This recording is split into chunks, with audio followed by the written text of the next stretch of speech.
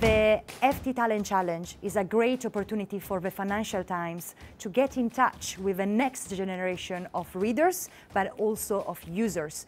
We got 50 participants from 24 countries, so a very international group, but above all, a very diverse group of people in terms of backgrounds. They have passions for the future of media, but as well for podcasts, new formats, new channel.